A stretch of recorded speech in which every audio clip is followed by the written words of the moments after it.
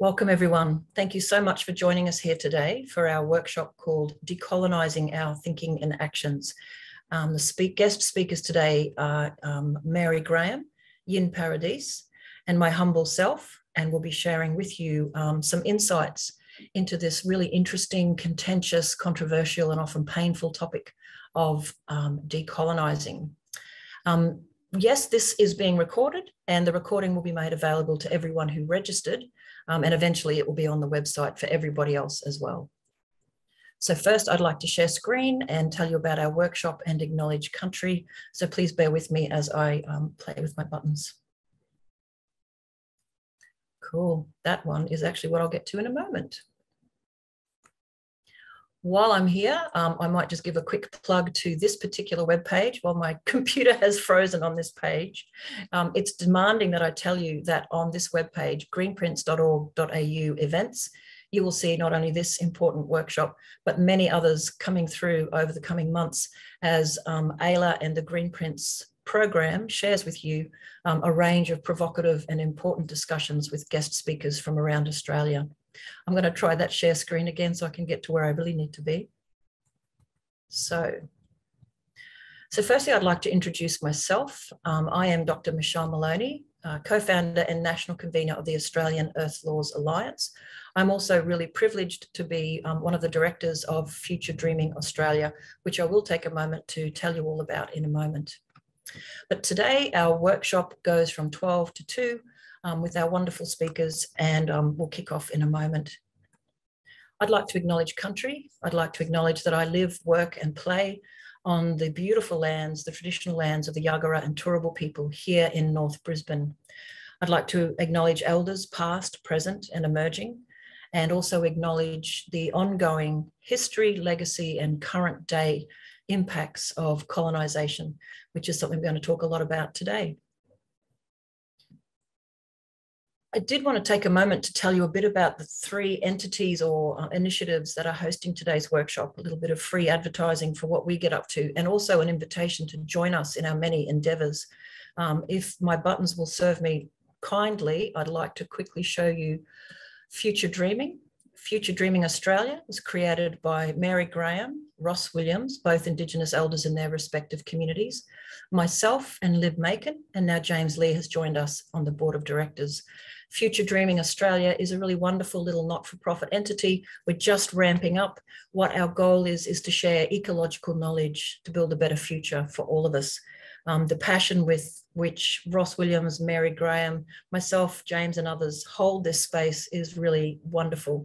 And what we've been doing so far, because we launched just before the massive COVID lockdowns, what we've been doing so far is a range of workshops and activities helping people um, learn about Indigenous culture and perspectives, but doing it inside a space where there are also non-Indigenous voices reflecting and critiquing our own systems and um, looking at the good stuff that's going on in the Western traditions as well. And just a, a shameless advertisement, we do have a workshop tomorrow. Um, it starts from 12, 12 to 12.30. It's one of our, we have a couple each year, connecting to place and uh, caring for country. I'd share that with you, but I'll just quickly move through my other promos so you know who we all are. The Australian Earth Laws Alliance, earthlaws.org.au if you want to look us up. Um, I often consider AELA the mothership, the baby of a lot of my work, including work we've done um, collectively, so many of us in auspicing the New Economy Network Australia. But AELA's mission is to help societies or to be part of a contribution to helping societies understand how to shift from human-centered extractive societies towards um, earth-centered and regenerative societies. We have a particular focus on governance issues inside industrial societies like law, economics, education, and others. Um, also, just want a final plug, AELA has given birth to this gorgeous little initiative called Greenprints, which I won't talk too much about today, but Greenprints is hosting the Greenprints Exchange workshop series. So many good things will be popping up out of Greenprints. Um, but right now, um, I might start to introduce our workshop and um, hand over to Yin in a moment. Um, so in our workshop today, what we'd like to do is I'm going to hand over to Yin Paradies, who is a professor of race relations at Deakin University. But I will let him introduce you, introduce himself to you the proper way, his own way. Um, and Yin will speak with us for about 20, 25 minutes or a little bit over um, on the ideas around decolonizing, challenging modernity, and so much more. And I find every time Yin speaks, my mind is blown open a little bit more, and I absolutely love it. So brace yourselves for some really excellent thinking and, and provocations from Yin. And then we'll hand over to Mary, um, who I see she's joining us now, which is wonderful. Um, Mary Graham will then take a moment to reflect on the Indigenous worldview, Indigenous philosophies, the logic and the remarkable rationale behind many of the governance structures that Aboriginal societies did have and continue to have post um, colonisation. Um, she also talks in great depth about the relationist ethos. And with both Yin and Mary, it is such a privilege to have their wisdom and knowledge today. And I urge you to Google them and look up their other work, recordings, writings, etc. Um, please stay on for my talk, although I am no not in, in uh, their league for provocation. What I'd like to do is through uh, the lens of a non-Indigenous person, reflect back the, the journey from ignorance in terms of Western education about this continent, our history, our systems of thinking, my personal journey through that ignorance into learning, unlearning, and learning again um, different ways of thinking and being, and hopefully um, inspires folks who perhaps like me um, are non-Indigenous but love this country and really want to play their part um, in decolonising their thinking and actions. So without further ado, I mean, we'll have a good half an hour, 35 minutes for questions and discussion. If you have questions, just because we've got quite a lot of us on, we've got nearly 200 people, um, it would be lovely if you could do the following. You're very welcome to chat throughout the whole time, but if you want to put a question to us in the question moment, um, question session, it might be good if you pop that in closer to 1.30. It's just that I may lose it. I try to keep track of things and so do my lovely colleagues, James and Christina. Um, but yeah, if you've got a question, you might be better off just jotting it down. Pop it have our session at 1.30. So I'm going to stop sharing. And just a reminder, please do keep yourself on mute. I can see a few folks there who are not on mute. Um, and we'll keep letting folks in as we go. Um, and Mary, welcome. I think I can see you there. Yes. How are you, Hello. How are you? Yeah, lovely to see you. yeah, sorry, I'm late. Um, the internet's a bit unstable, it says. So I don't I think it could be these horrific storms we're all experiencing. I think so too, yeah. Hmm. Yeah. But no, it's lovely to see you, Mary. I have to admit, my heart skips a beat when you're not there when we start, but I know you were coming. I am on my way. lovely. So as we discussed, Mary, um, Yin will kick off, and, um, Yes. and then we'll, we'll, we'll basically save questions till the end so we can have a rich discussion rather than have anyone lose. Mm. time. So okay, enough from me. Um, Yin, I'm going to put you on spotlight. Lucky you. Welcome, Yin. How are you today? Hello, Michelle. Uh, I'm a little disappointed that I wasn't later than Mary today. Um, I'm usually the most late, um, and I'm going to have to be better next time. I'll remember that next time I host you, Yin, because you have given me a heart attack in the past. So yes. Wonderful. All right, Yin. Well, look, if you I've introduced you very briefly, but if you'd like to share your story with folks, we're all ears. Can't wait to hear. Thank you so much. All right, thanks. Uh, I'm Yin Paradies. I'm a Wakaya man from the Gulf country, is where my mob um, originate from, near the NT Queensland border, where my grandmother was born. And uh, I myself was born in Townsville and grew up in Darwin and have since moved to Melbourne. I've been in Melbourne for the greater Melbourne area, various spots for oh, 15 years or so now. And uh, I'm a professor of race relations at Deakin University. And I'm mostly, I'm most interested in decolonisation and Indigenous knowledges, which is why I'm going to share my screen now and start talking about decolonisation. I'll leave some more of the Indigenous knowledges to Mary, but let's do some decolonising talk. So we're here to talk about uh, thinking in actions, apparently, and decolonising them, among other things. I think we'll add some things to that list. I think thinking is a little bit too central uh, to colonial mentalities. So we need to worldviews, world senses, existence scapes. We need to do more than think. We need to think in different ways. Let's talk about colonization first. This is every country that Britain has invaded, not the ones in white. Although yesterday, someone from Bolivia told me that that should also be pink. So I'd like to keep some white in the image, but it's, it's look, not looking good for that. So that's what colonization looks. That's the reality of colonization. That's, I mean, speaks for itself. And this is the result of that. Uh, we have 60% of people globally, globally earning less than $5 a day, a 60% decline in vertebrate numbers since 1970. Eight men are wealthier than half the world's population, the poorest half, of course. Maybe less than eight now, could be six. I haven't checked recently. 1.6 billion people are without adequate housing. A quarter of children worldwide are malnourished. And we've seen the longest consecutive declines in life expectancy in the United States in a century with similar trends in the UK. You could, you could do this about Australia if you wanted to as well. For example, at the moment, we have the highest imprisonment rate in Australia for the last 100 years. Just one example. Of course, if we look at other issues, what I like to call global health, when people talk about global health, they mean people. How well are people going? Um, there's more to the globe, there's more to the world than people. Halving of vegetation biomass in the past 11,000 years, which is about the length of time that the conditions for colonialism have emerged. They emerged about, say, 10,000 years ago and have been growing ever since. Two thirds of land surface altered by humans.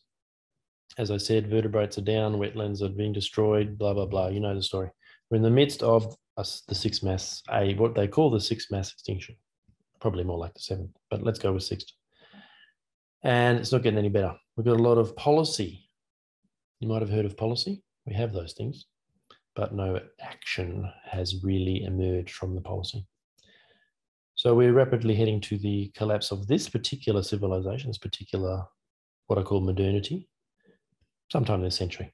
I'm not going to be all Nostradamus about it, but definitely by the end of the century we'll be done with the configuration of societies that we currently have. And here we have uh, a graphic of that, which really sums it up quite well. Uh, hands up anyone who's ever heard the song Everything is Awesome from the famous Lego movie. We don't have hands, do we? Oh, there, someone did. Someone raised their hands. Oh, yeah, three people know the Lego movie. It's a great movie. Well, this is what we're doing. That's what modernity, the motto, the slogan of modernity is everything is awesome. And there's a song that goes with it, which I'm not going to sing. And you could say we've never been healthier, happier, wealthier, if you wanted to. I mean, it's profoundly inaccurate, but that's what we're talking about here. We have science, democracy, rights, education, modern medicine. We live longer, which is not really true either. People in Africa have mobile phones and washing machines. That is true. We need to protect our way of life and get the rest of the world on board. No, definitely wrong. But this is the story. And then around the story, we have some small issues um, mental health crisis, uh, completely unimaginable dimensions might have noticed petrol prices have gone up. Might have noticed something called COVID, um, food, water insecurity, underemployment, the unnecessary, the precariousness of everything, housing, resources. But more than that, relationships. The damage done to relationships in modernity is uh, beyond comprehension. So, what is what are the societal dimensions of modernity anyway? What, we, what does this modernity thing actually mean? Well, it's a culture. It's a particular culture to do with coloniality, patriarchy, capitalism. And here are some of the dimensions of it. Separatism, we'll mention that a lot because it's very important. The idea of individuals at all is highly dubious. And it's a, a sense of really undermining or silencing or ignoring or eliding interdependence. The spiritual, the sacred, the intuitive, the holy, ritual, ceremony, tradition. Uh, these are not well respected and valued in modernity. Time is a linear, monetarized, equally distributed, chronically deficient quantity, according to the Western, modern, modernist worldviews. We can save, spend, squeeze, waste time, perform on time, be time poor, rich. What if we thought of time not as a commodity, not as linear, as something else? There's a focus on self improvement. Everyone is responsible for how their life turns out, more or less, while also needing to do as they're told by the powers that be. Failure and success are attributed to individuals, their deficiencies, their talents, their decisions, and there's really very little understanding or comprehension of our embeddedness, embeddedness in social contexts and how that shapes our lives.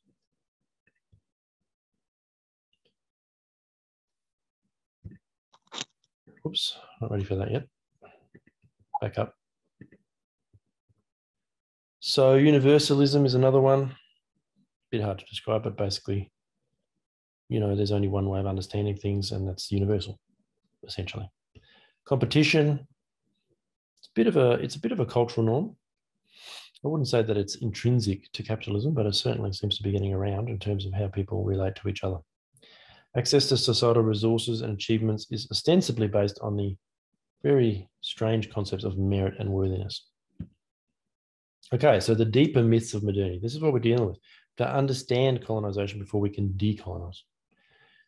Separation from ourselves, other, so within ourselves, we compartmentalize. We don't connect with our expansive capaciousness of ourselves from other people, beings, land, sea, and air, what sometimes is called country by Aboriginal people. Denial of interdependence and vulnerability. An unrestricted autonomy, as a contrast to a relational autonomy, or what Mary would call autonomous regard. Entitlement, merit, innocence, denying complicity in the harm, violence, and exploitation of modernity. Unceasing growth, progress, development, accumulation, consumption, and waste on a finite planet. Certainty, surety, mastery, and control that offers simplistic solutions to complex predicaments that deny the tremendous challenges we collectively face. And the malaises of modernity are these artificial scarcity and demand, profit, accumulation, hierarchy, individualism, a, a sort of competitive individualism, exploitation, commodification, of everything. That's why we have human resources and natural resources, because they're not just trees and people, they have to be commodified. Comparison, judgment, condemnation, alienation, huge, huge problem in our culture. Cynicism, craving, fear, anxiety, guilt, shame, greed, also problems. Control, conformity, coercion, compliance, cruelty are the basis of how things are done generally purity, protagonism, progress, protest, and popularity. These are conditions, if, if you will, of modernity now. What I sometimes call malaises because it sounds better where there's two M's. Could be conditions of modernity, but I like malaises.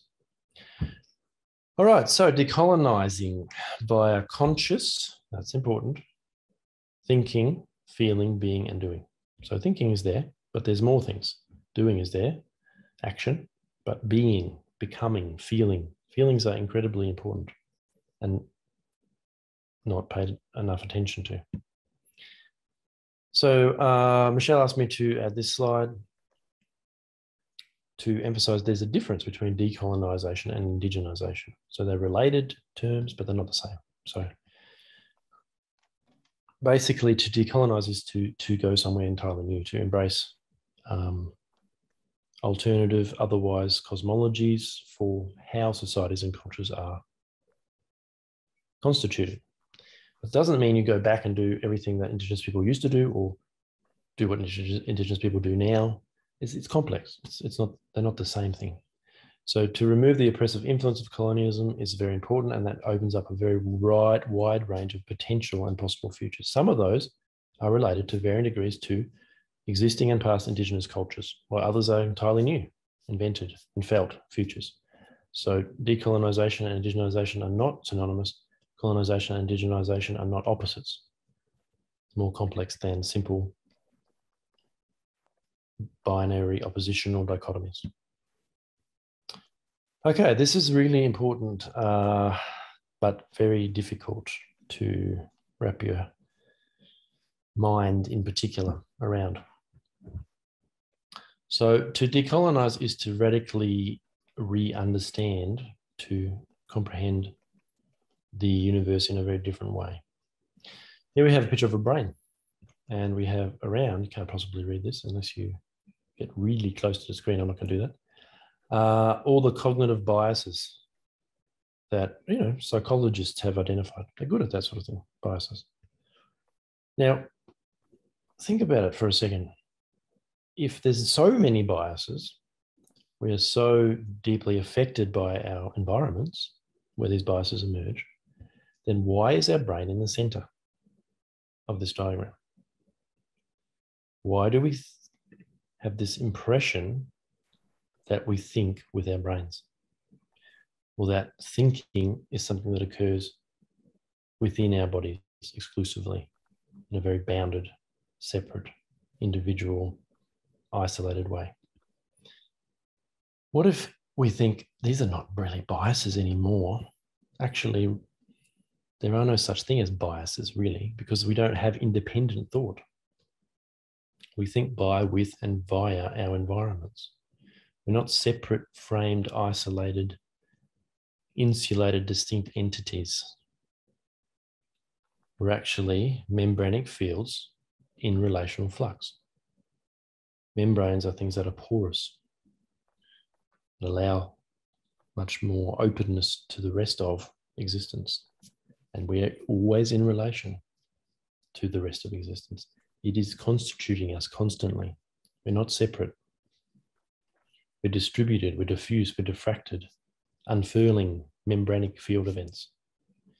You can think of it as knots on a string. If you look at a knot on a string, you might think, oh, that's a, that's separate from the string. Looks looks like it's separate. You could like maybe you could pull that thing off, that other thing. But no, knots are part of strings, and we are part of. We have knots on the many strings of existence. So, and the and the most important message to take home from that is relationships are fundamental to existence. All of existence is just relational flows.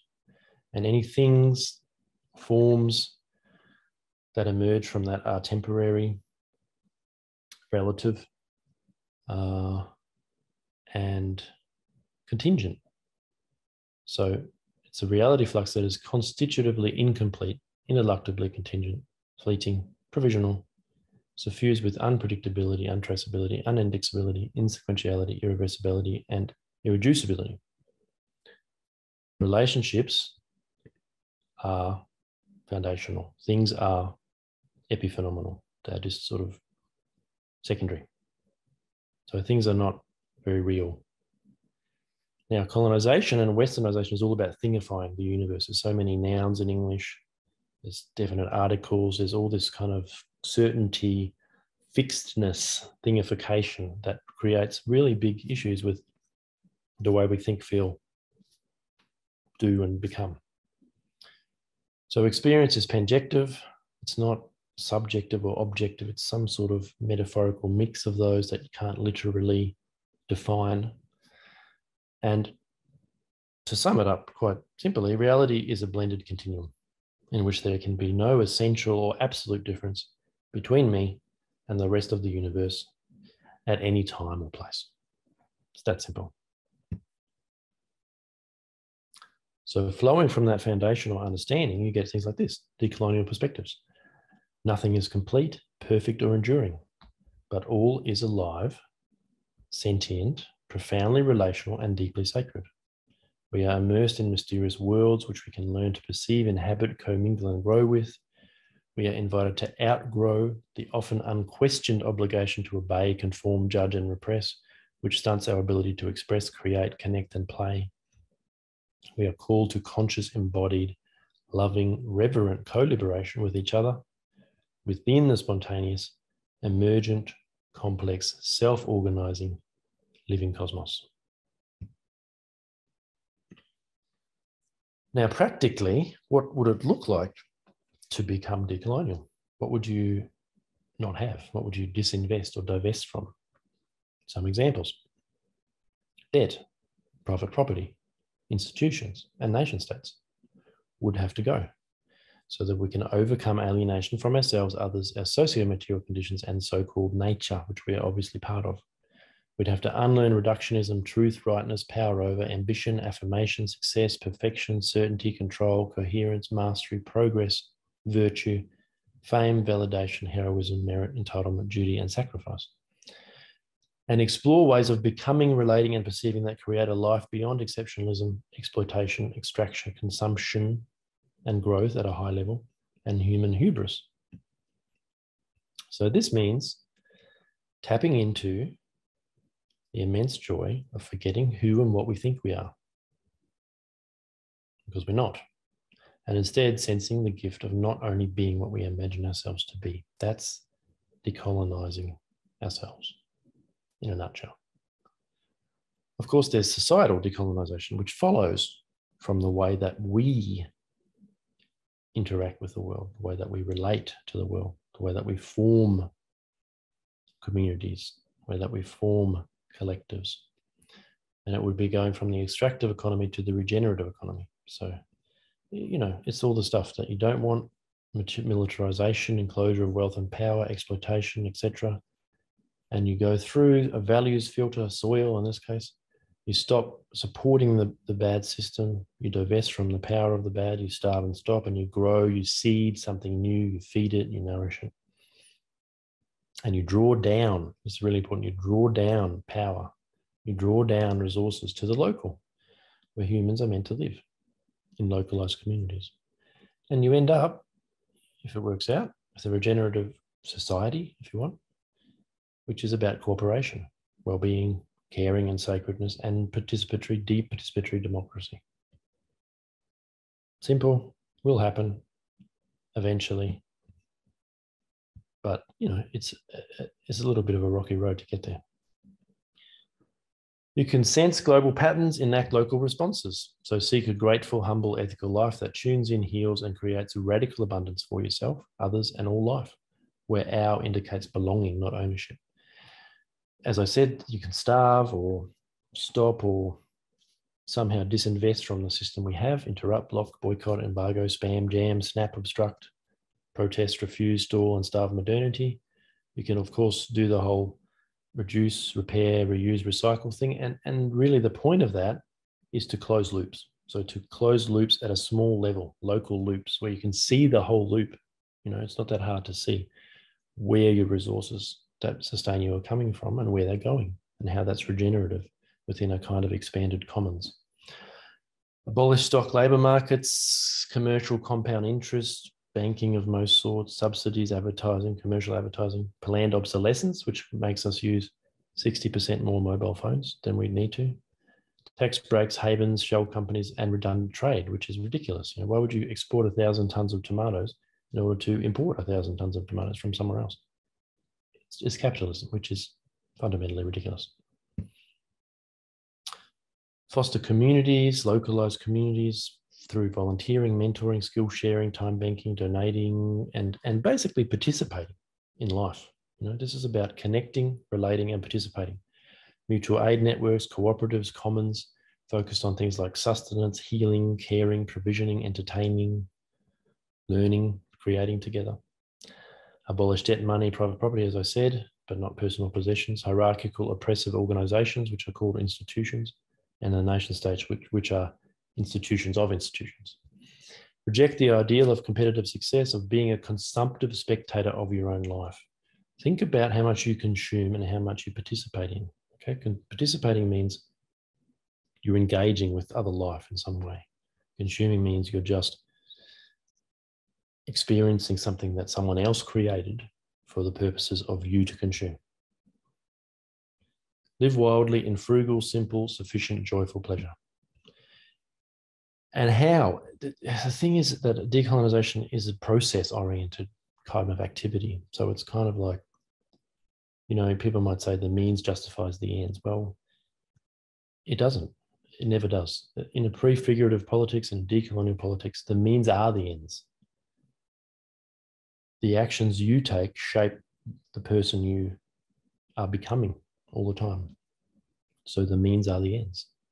So the means are very important. And there's process oriented principles like these create circles, not lines, practice deep listening, plan with people, don't represent them, move at the speed of trust, center lived experience, seek people at the margins. These are ways of acting. Doesn't matter what the outcome is that you're trying to achieve, doesn't matter if you're not trying to achieve any outcome. Process is much more important than outcomes. What would happen if we stopped trying to solve global problems by scaling up standardized solutions? What would it mean to accept ourselves unconditionally exactly as we are while staying wide open to growth? How can we invite material conditions and social relations which are conduct, conducive to life, beauty, and thriving? How can we live with dignity, love, courage, and truth while opening our hearts to those whose views and actions we profoundly object to? Is it possible to enjoy life's resonances, vibrations, textures, essences, and emanations as we deepen our vulnerability to the suffering in, of, through, via, and with the world? Last few slides towards healthy societies. What if we invite What about if we invited self realization, needs, freedom, celebration, interdependence, care, love, connection, beauty, grief, and cooperation without institutionalized, exploitative, hierarchical institutions hoarding resources produced by the labor, imagination, and creativity of others. Weave tapestries of empowered local cooperative communities grounded in the politics of anarchy, degrowth, wilding, unschooling, permaculture, decolonization, myth, ritual, ceremony, tradition, prayer that inspire authentic, thriving, playful, vivid, visceral, plural, messy, vulnerable, sacred, sensuous, joyful, senseful lives? What if we embrace active receptivity to appetites, thoughts, feelings, emotions, moods, desires, sensations, yearnings, longings, yieldings, callings, instincts, hunches, inklings, and needs? What would happen if we offered ourselves in full to the world as it is, without demanding acceptance, acting interdependently in ways that nourish life while being attentive to your limits and capacities within any given time and place? Could we meet others with curiosity, courage, vulnerability, love, honesty, and humility? Sense the visceral needs behind actions, learn and grow with gratitude, connection, and cultivation while minimizing correction, contraction, attend to beauty even in dire and deeply violated contexts. Could we find our way to a mature society where we slow, pause, breathe, rest, sleep, idle, lull, and catalyze, channel, doula, delve, guide, receive the unknowable, unexpected, the uncomfortable, the uncertain, the unthinkable, and even the imperceptible. What happens if we make unique mistakes in doing what is needed with maturity, sobriety, and serenity? Beyond consumption, comfort, convenience, choice, conviction, or complaint metabolize, integrate our own assumptions, aversions, addictions, habits, guises, disguises, triggers, complicities, contradictions, projections, traumas, idealizations, and other ossified dichotomies. Could we learn to discern, perceive, relate, communicate, become without necessarily utilizing things like judgment, comparison, justification, condemnation, narrative meaning interpretation, or intellectualization? Some more details in this paper if you're interested. And that's it. Thank you.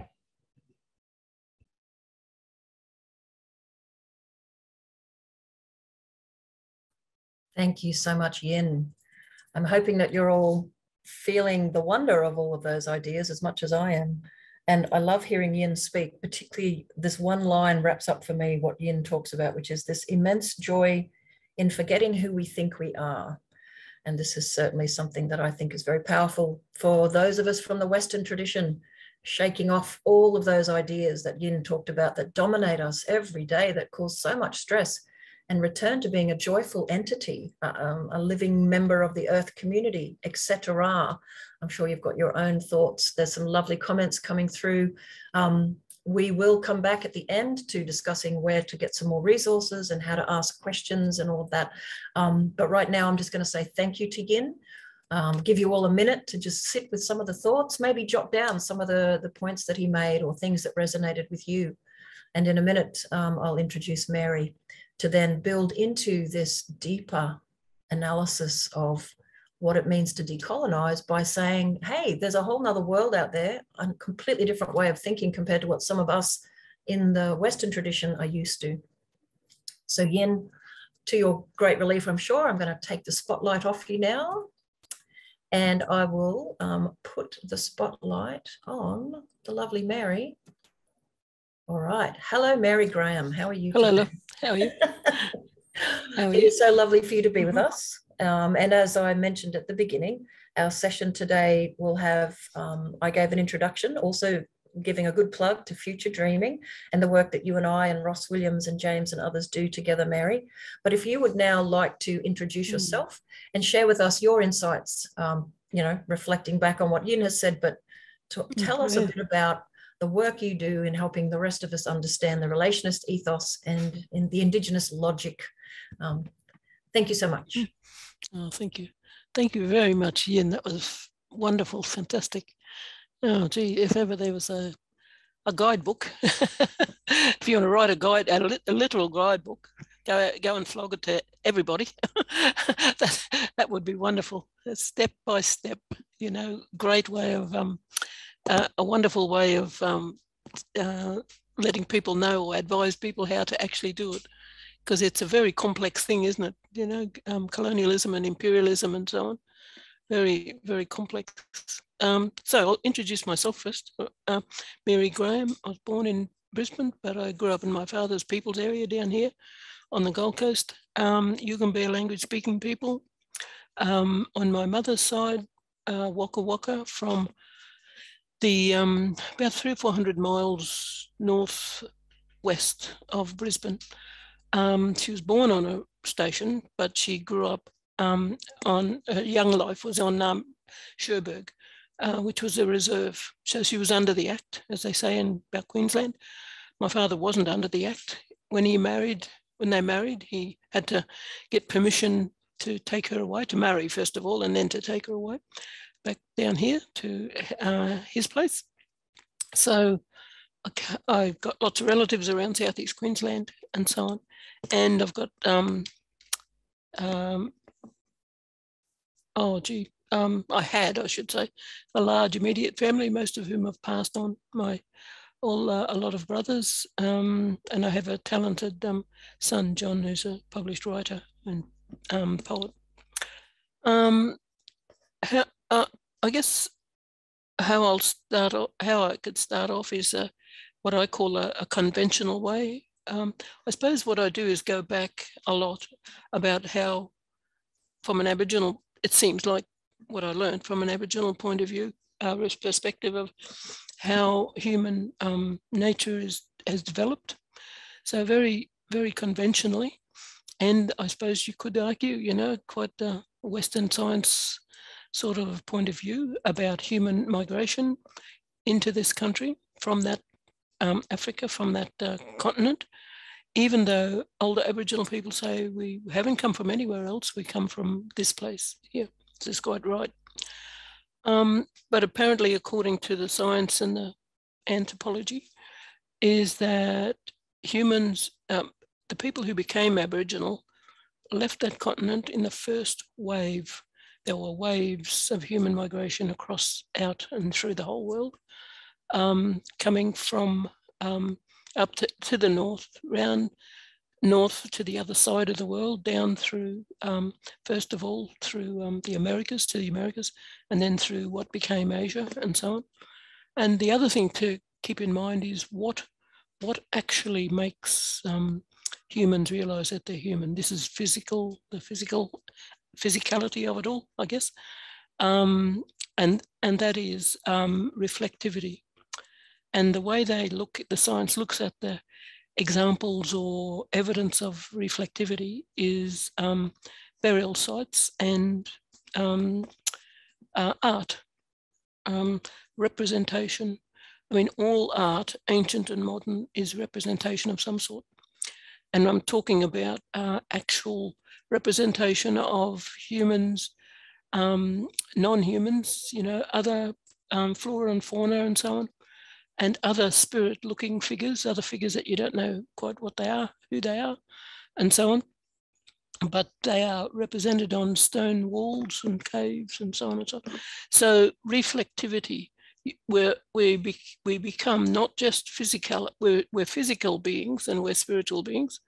So we're physical beings, and then when reflectivity comes into it, is developed, is actually developed over ages of time, you know, you know, really long. We talk about half a million to a million years old, and so on. Um, uh, that's that's when people realise um, that uh, life and death, uh, how they're connected, and and so on.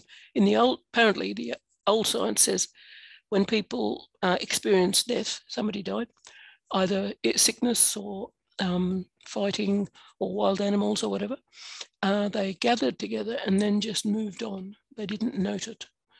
When they start to note it and have burial sites, that's because the reflectiveness, reflectivity comes in, has come in to their realization about who and what they are, and so on and so on.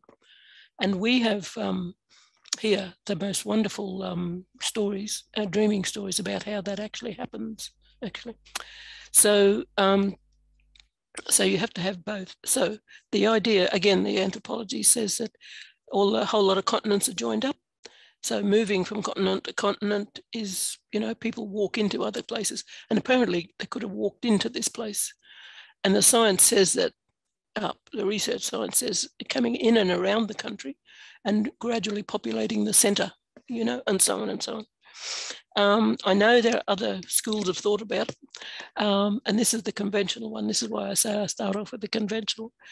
But whether people are physically human and or uh, or or um, sorry, and or reflective human beings, they know the difference. They know the difference uh, between um, other human and other other than human um, is another thing. So people walk into the country, populate the country, um, extra research has found apparently in um, South America, South, South America, South Australia, um, in the um, Adelaide Museum, which was already the very old uh, go-to place for anthropologists, historians, all kinds of people who uh, want to study the, the country and the people, the native peoples in inverted commas.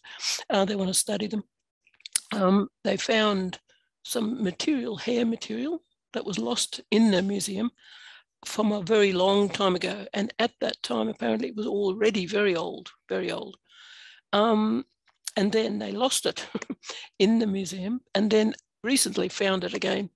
They did up to date dating on it and found it was about 60, I think 50 to 60,000 years, something around that. Um, uh, uh, uh, this hair material, strands of hair.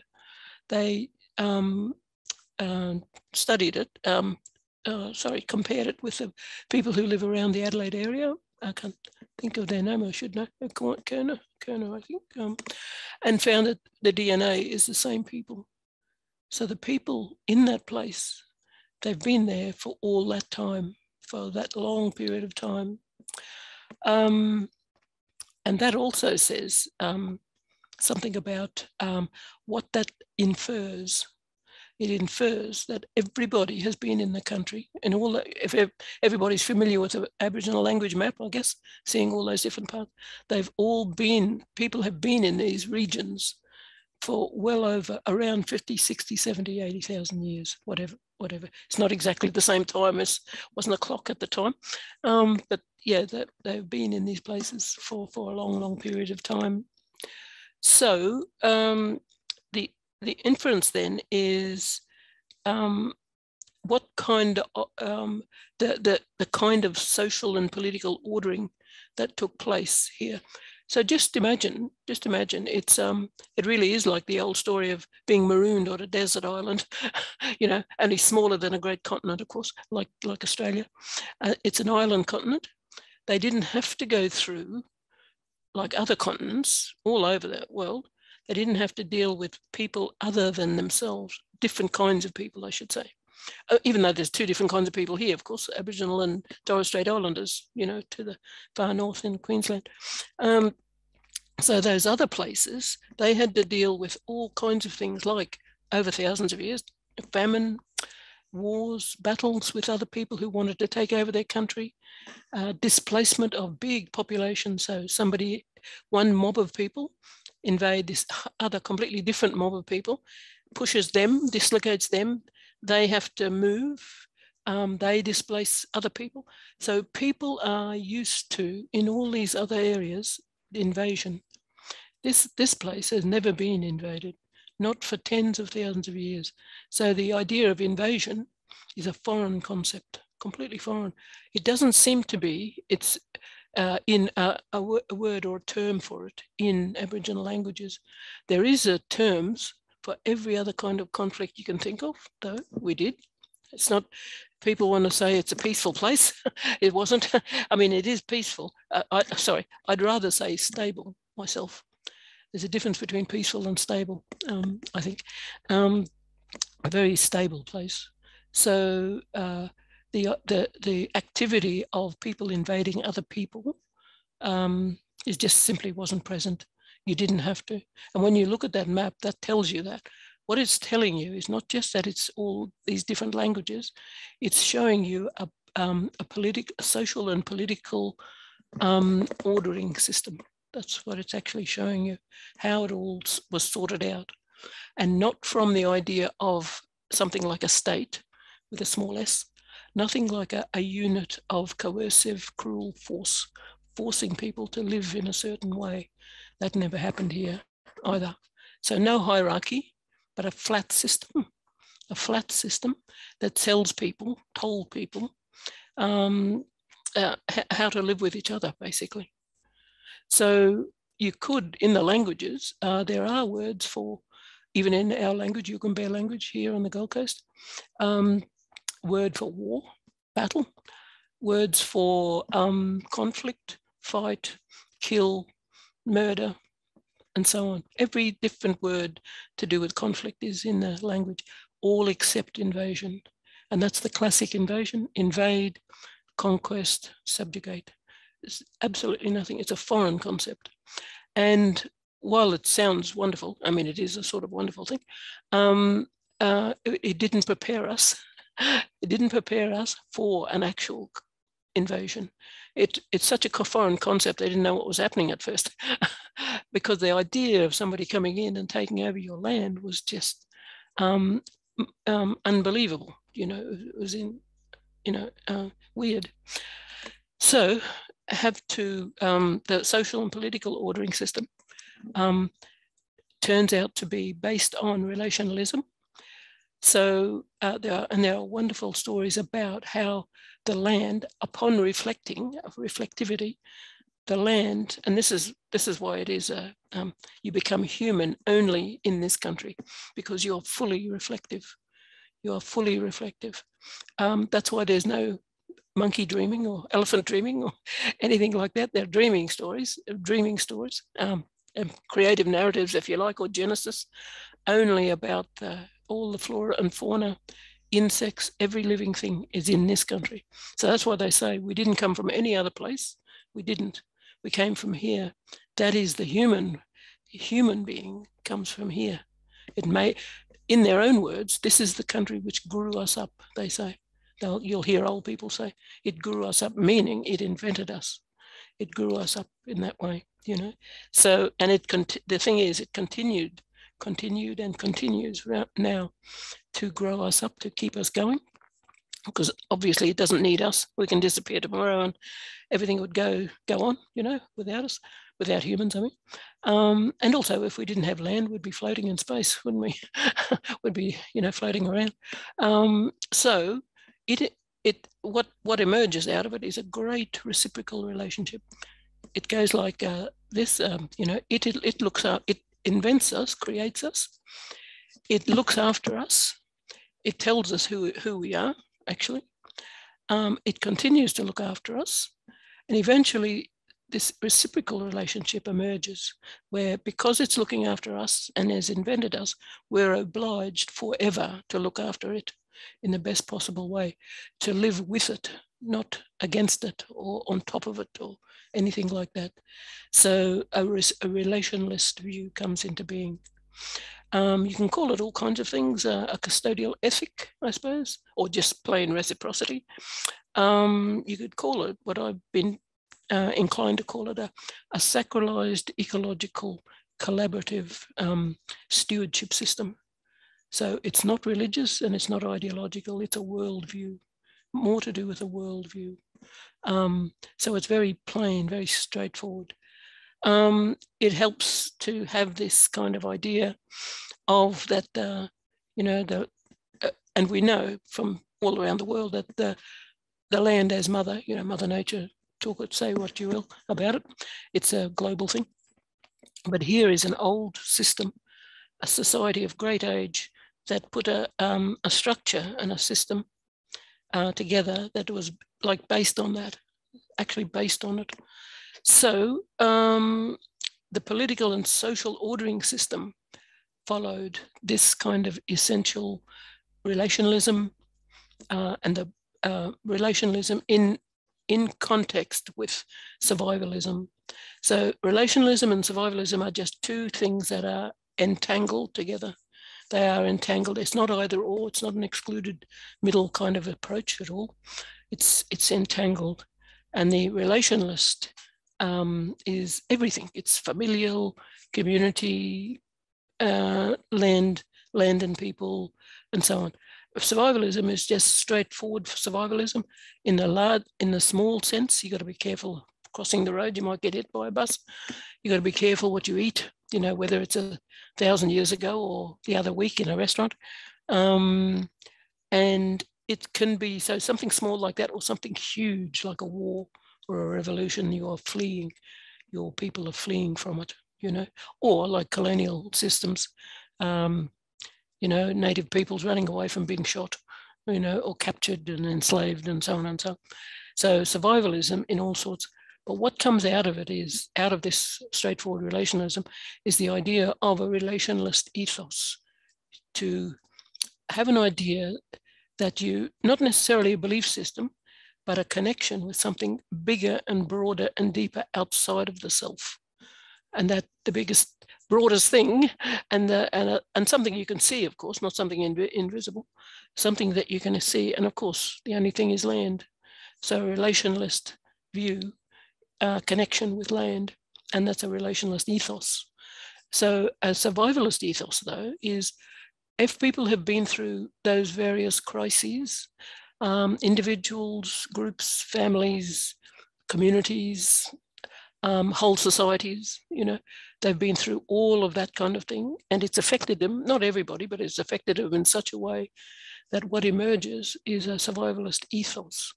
And a survivalist ethos, you can say in all those common um, sayings, popular sayings nowadays, um, it's a dog eat dog world. The water's full of sharks and you've got to be careful. Look after number one first. Look after yourself as as against others, your family, your your town, your group, and so on and so on. You look after them first. So you seek security only for yourself and yours at the expense of others. So all it, it works out to be our survivalist ethos is seeing all environments, natural, um, social, political, as always inherently hostile. So you have to arm yourself psychologically, uh, socially, um, economically, of course, um, but also, I mean, straightforward militarily too. You have to arm yourself all the time. The whole of life for those sort of people, those groups, those societies, that's what it always is. It's about that. And survivalism, don't people often, the, the anthropologists, I think this is their fault. people talking, uh, they're, they're, talking about survivalism as, ah, uh, well, the um, native peoples, survival is the most important thing for native peoples, you know, hunting, all that sort of stuff. But actually, no, the survi real survivalism is comes into the control of the most powerful and the richest. Survivalism is the most important with that, with that, with those sort of societies, because they've got everything, you know, already, and they're never going to let any of that go or be shared or have less in order to look after other people's um, security or anything like that. That's the survivalist ethos, as we can see in the world today. You know, because mostly indigenous peoples have worked out a whole lot of things. They've gone beyond survivalism and, and so on, you know. So um, the attributes that I've always seen, and I work on this for a while, is um, of, of relationalism, relationalist uh, view, um, uh, autonomy. We are all autonomous beings. I am and you are. Uh, but the nature, you know, um, the environment is autonomous too. It is its own boss. And women are definitely, definitely autonomous beings. They are their own boss. They are not meant to be handmaidens or slaves or captives of men or captives of a system. You know, they run society. Men's law, women's law, men's business, women's business, men's spirituality, women's spirituality. They're supposed to run things. So instead of a hierarchy, not a hierarchy, uh, it's a lateral system or a heterarchy in um, political theory. A heterarchy is a flat system. And um, um, so you treat other people with autonomous regard.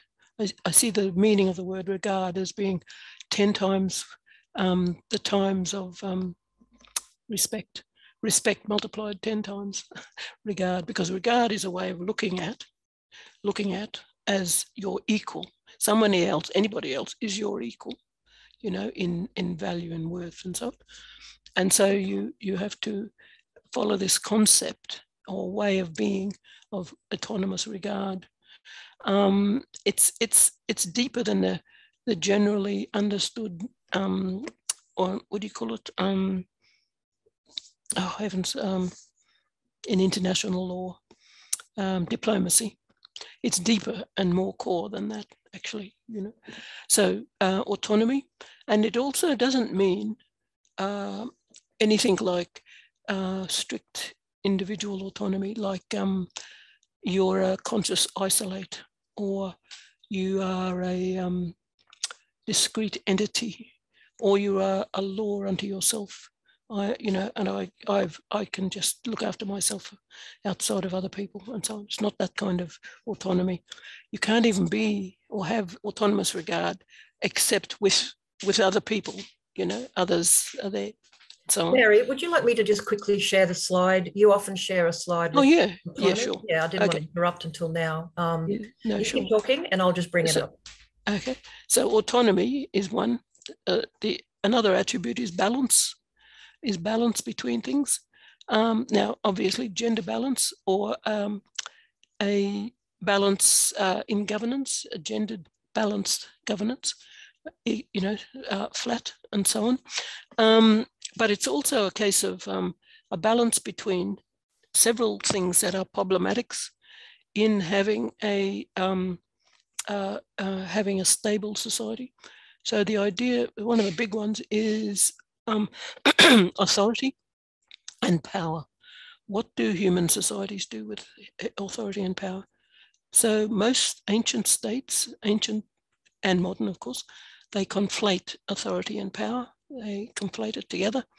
Um, so if you have power, you that gives you the authority to do whatever you like. And of course, this is what states are for, states with the smallest. Um, but um, um what Aboriginal people did was something quite unique, I, I do believe. They separated authority and power, but on the same level, not, not one above the other, not hierarchical, and not, not clamped together, but separate. I sometimes in my um, imagination or musing, I think of it as like terrible twins, conjoined twins who are joined together and they fight and argue all the time.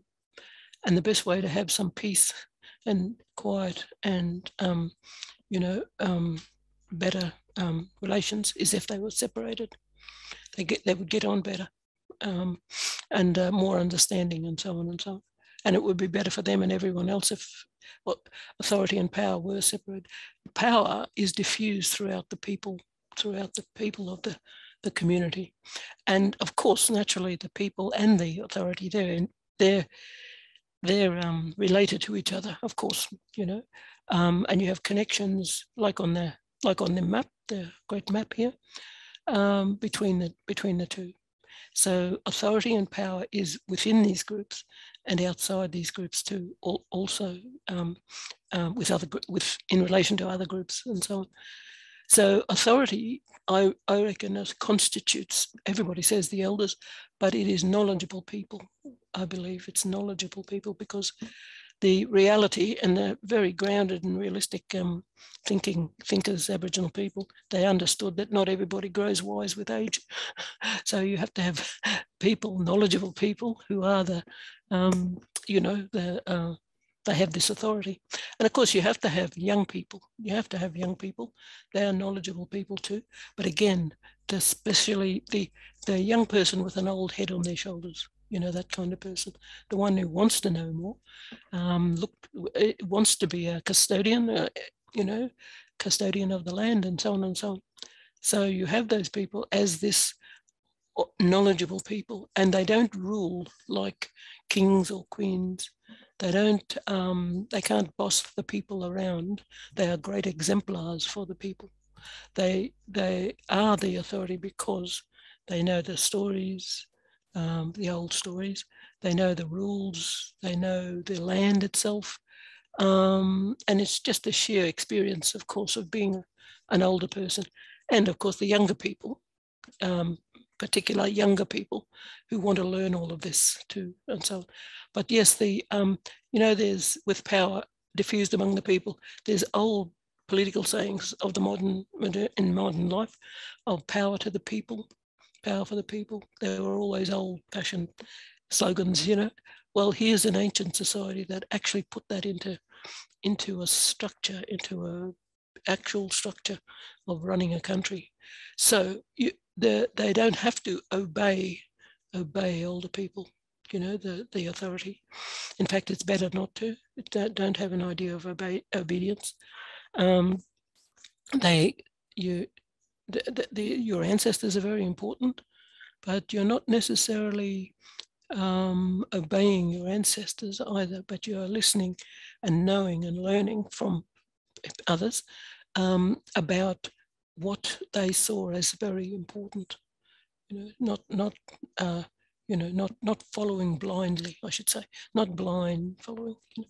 So you because as as I was saying, you know, everybody's an autonomous being, so you can't go around telling people what to do or punishing them if they don't do what they're told, and so on. So, so um, the the other one is um, no, I think that's it between authority and power, and between, but in in other ways too. Of course, I always compare it a bit to um, in our area, I don't know about the rest of the country, but I've heard the same thing in other other, other people's countries here, um, that the sun is female and the moon is male.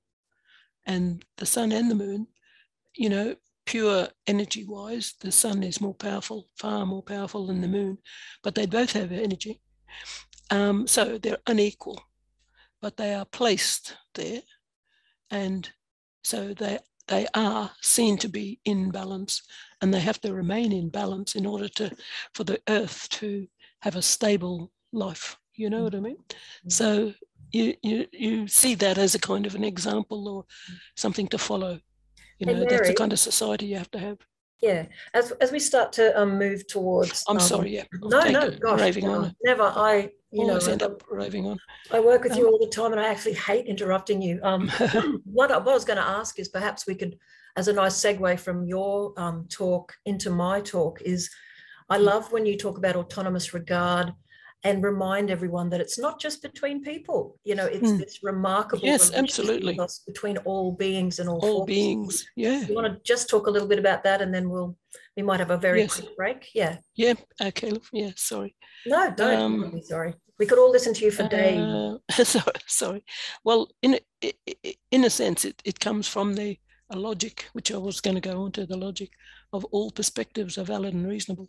Yes. Actually, you know, it's not Aristotelian logic, either or. Either you're a friend of the Americans or you're an enemy. That's the current logic globally, actually. Um, and you're in big trouble if you don't follow uh, uh, any other particular side and so on. Um, so the Earth itself has its own its own view.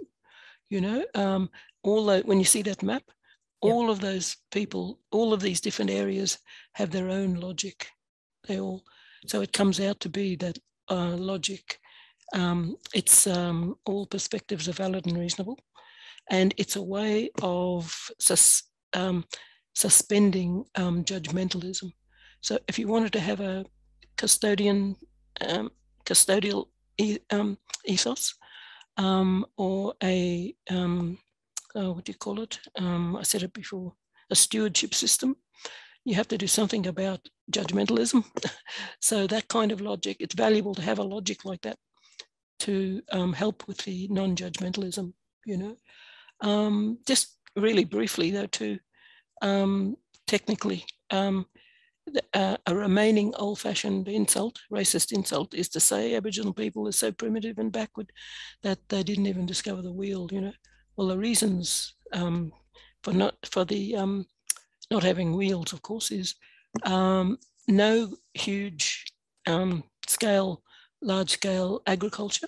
Because if you did have that, you'd have to have a vehicle with wheels to cart goods or produce or whatever you wanted to to a central place where it's counted, uh, sorted, counted, and recorded. So no no um, uh, writing either. So no large scale agriculture and those wonderful books that are out um, mentioned. Um, uh, no, um, you know, none of um, uh, none of that. Uh, about 10 or 12,000 years ago, that's when states first came in because people started to compete over resources, compete, have wars, battles, and so on and so on. This is how a state is made, not the nation state, but the older state. And the big thing, though, there was no animals, domesticatable animals at all. No native horses, no cattle, no buffalo, Asian buffalo, um, no elephants, no camels, no transhumance animals like deer. You know, the Sami, they herd deer, thousands of um, no sheep, um, no goats, no pigs, no llamas. I think they herded them in uh, Latin America, South America too. So if you did, even if you could have had large scale agriculture, um, you couldn't have done that anyway, besides it being a driest continent on earth and so on. So this, this old place, I always end up saying, you know, um, not always, but when I remember it, um, we didn't invent any, you know, um, monumental architecture at all none at all. But I think we did pretty well do a good job of inventing a, um, a concept of a monumental, stable society, you know, over an immense period of time. So I'll leave it there. That is an absolutely wonderful moment to end on. So mm. thank you so much, Mary. Um, what I'd like to do is we might go, I'll go straight into my um, response and comments just from a non-Indigenous person who's been grappling with the decolonial issues for quite a long time in my own befuddled Western way. And I wanted to share some of that with people. But then we will come back and have discussions and an open yarn with Mary and Yin and myself. So please do stick around. But there's lots of lovely thank yous coming in. And can I please, again, I said it at the beginning, Google Yin and Mary. Um, you will find many YouTube videos. Mary has been um, speaking publicly and writing for a very long time. So please engage with their work. It will change your life. I guarantee it. It's certainly enriched and changed many aspects of mine. So Mary, um, thank you so much. Don't go anywhere. Um, normally I'd give you all a break, but just to stay on time, you're obviously welcome to wander off and have a cup of tea or ignore me. Um, but what I want to do is share with you the story of how um, one little white kid from the bush represents a lot of white fellas ignorance and how we've been learning and unlearning and trying to play a more positive role here on this beautiful continent. And I do find in the talks that me and Mary and Ross do together, having Indigenous and non Indigenous views can sometimes add that extra layer of, I guess, empowerment to non Indigenous people who often ask us. I'm not Indigenous. How can I connect to place better? I'm not Indigenous. What can I do? We many of us carry the kind of the white guilt aspect too of the history of our bizarre culture. Um, so I thought if I share some insights, then we can come back and then all have a big yarn up. So I hope that's all right. And Mary, I'll take you off spotlight in case you need to get yourself a cup of tea too. Um, yeah. and, and I'll only be about 10, 15 minutes, I hope. So um, let me just turn off your spotlight. I thought I had, no, there we go. So thank you so much. I'm sure for those of you who haven't heard Yin or Mary speak before, if you're feeling a profound sense of shifting in your brain, you are not alone. Every time I listen to these lovely people, I learn so much. And, and I really can't stress enough, as someone raised in the Western tradition, what a profound relief it is to be engaging with ideas that shift us away as a living entity, as an organism, as a being, um, shift us away from these heavy, heavy structures of what our globalized economy, Western legal system, and all these systems have left upon us. And I think Yin spoke to that beautifully. And I'll say it again you know, part of decolonizing is the immense joy of forgetting who we think we are. Mm. And I don't know about you, but when we go bush, when we go outside, and when we kind of connect with nature and just have fun with each other, that's the moment when we realize we are just living entities doing our thing, trying to survive in a beautiful world. And how do we do that? Could I could I just say one Yes, more thing? One, please, one- half a minute Yeah. with, with regard to Yin Yin's um, presentation. Um, how I read it, Yin, um, is, uh, and I, I have said this a couple of times before, is that what it is, it's an invitation to, well, the rich West to actively actively aim for a poorer society. Actually, what there's a term called uh, a moderate prosperity, and um, usually it's uh, it's unheard of. Economists wouldn't um, wouldn't accept that at all. I don't think uh, Well, Western the- ones anyway. The modern correlation, Mary, is the degrowth movement, the voluntary simplicity, the frugal right, yeah. simplicity. Um, and if anyone's interested in voluntary simplicity and any of that stuff, definitely have a look at Sam Alexander's work. Um, Yeah. but yeah, you're right, Mary. It's Yeah, yeah. Yeah, and that- have got to start seeing it as that's the sexy way to go. And in Westerners, I've, I've spent 30 years trying to break down the barriers where Western minds have a lot of trouble taking the structures away Oh and, and God, yes. seeing truth and reality. But what you do is you talk about Mm. redefining the good life, and we find those Mm. comments. Wouldn't you love more time to have fun, to go out Mm. and do things? You know, you start to break down that system. Mm, Anyway, I will do my thing and then I'll do it fairly quickly. And then um, I'm really keen to have a nice big discussion. So thanks, everyone mm, it's mm. very it is very humbling and difficult coming in after these two remarkable people and thinkers um, but just experience has shown us um, that this extra story of what um, other folks are trying to do can be of use and i'm just battling it out with many buttons sorry guys this one should have it all right so i wanted to share a story with you not just michelle maloney's personal story but the work and how i came into some of the work that I'm doing with these incredible people. So that's what I'd like to share. Mm. Um, so I added after um, Yin reminded me, because I called this topic when I was setting up the workshop, decolonizing our thinking and actions. And as Yin says, our col- uh, that to decolonize, we need a lot more than just thinking. So, Yes. So what I'm going to do is just share a quick. I'm actually going to use my own personal non-Indigenous person's journey through the decolonizing that happened to me um, until I realized I then had to get involved and do it properly. Um, I'm going to very quickly talk about how I grew up in the middle of Queensland and the stuff we didn't know and the stuff we had to, to learn, engage with. Then I just want to mention two key things that can kind of float from my own personal effort and journey as a non Indigenous person to play a more useful role in a society that I felt was very cruel. Um, and so, so just a little bit of the systemic societal work that we do, but it all blends together. It's not a, it's all very mushy um, in keeping with the idea of not being too rigid. Um, but I like to say that I grew up in a form of learned ignorance because I was born in 1970. Um, I grew up in the middle of Queensland in a little town called Barcaldine. Um, and like many, many other people, our entire primary school and high school education started History of Australia in 1788. And I find that mind boggling today, and perhaps younger people listening will also find that mind boggling. It's profoundly, deeply disturbing, and I acknowledge that.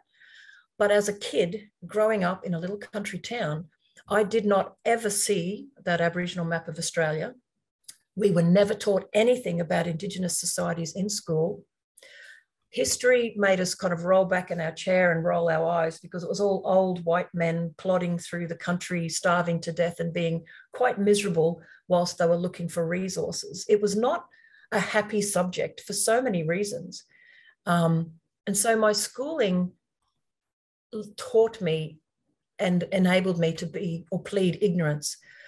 But I was also very, very lucky because where I grew up, I grew up with Indigenous mates. We were all, it was a very interesting society because it had um, a lot of people working out on stations. My colleagues, my friends, colleagues, I was a kid, my siblings, my friends worked out on stations, black and white mucked in together. But all the elders who adopted and looked after some of the white kids who were out on stations never talked in language. They never identified as their group because they weren't allowed to.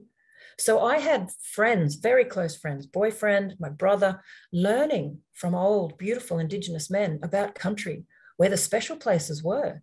But they never once mentioned their names or anything in language. And years later, I reflected on that as very interesting that these people were still on their country after horrors of driving them off. And they managed country in new ways. And I never knew any of that at the time. So I'm sure many other people can relate to this absence. And I'm not sure if our school system is any better today. I don't think it is, but our society is non Indigenous society has slowly, slowly worked out that we haven't been learning what we need to learn. And I won't talk anything much, but when I went to ANU and I studied law and history, that's when I literally had my hair blown back from, oh my God, the history of this place. And I know that many of you will be sitting there going, oh my God, this is pathetic. I think it's pathetic. I'm embarrassed that I was 21 when I started to learn about the true history of this place. But if someone like me at 52 can tell that story, it's to tell you all if you feel that you're ignorant, it's different today. You can Google, YouTube, and dig up a book. And even in my time as a kid, if I if I'd ever thought to do it, I would have found something, but it's different today. So this silencing of Indigenous history is profound and deliberate, and it's part of colonization. And I just share it with you because I am still really angry about it. And um, the things that helped me, that changed my pathways, were in 1995, um, my brother started going out with this beautiful Gungaloo woman, and they got whiff of the fact that I'd just graduated from my law degree and said, Shelley, come and help us with this native title mess. And I said, I know nothing about it. What is it? And I got drawn into the Gungaloo community's battle with these massive forces of ignorance and imperialism um, in the native title processes, um, working side by side with folks. I, I, wasn't paid, I was obviously just a volunteer, um, trying to open doorways um, into systems that were treating everyone really poorly. And again, as an ignorant, young, middle class white person, seeing firsthand the racism, the white supremacy, um, the threats of violence to some of our younger people, the way people treated them, but also in the community development framework, how Indigenous people contributed profoundly to those local communities. We actually, back in 1996, did this big project that um, did an assessment of the value of the work that everybody in the Indigenous communities was putting into society.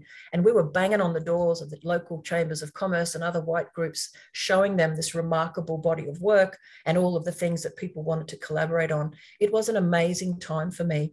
Um, I often think about this as future dreaming number one, because years later, when um, I co founded AELA, we made sure we had an Indigenous partnerships project, because that's what you do when you're non Indigenous.